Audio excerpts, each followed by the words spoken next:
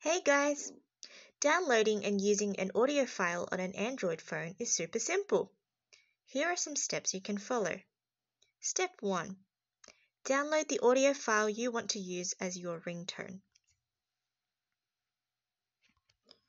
I'm going to go to this website, PBHS Ringtones 21, and here are some ringtones composed by our lovely Year 7s at Punchbowl Boys. I'm going to choose the first one, looped. Let's have a listen.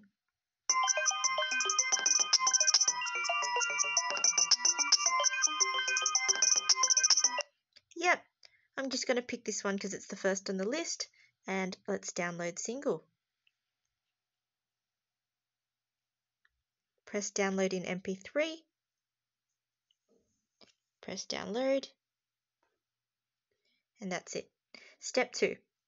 You want to go to your file manager. So that's files. Go into your downloads folder and there it is on the top it's a zip file press into that zip file and press extract and this way you'll only get the audio file press finished and it should have automatically saved um, as a file that you can use for your ringtone. Step three now setting up your ringtone. Go to your phone settings.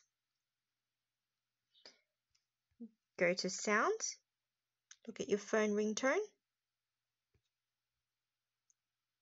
And press the plus on the top to add ringtone and there it is looped. Press OK. And that's it let's test it out.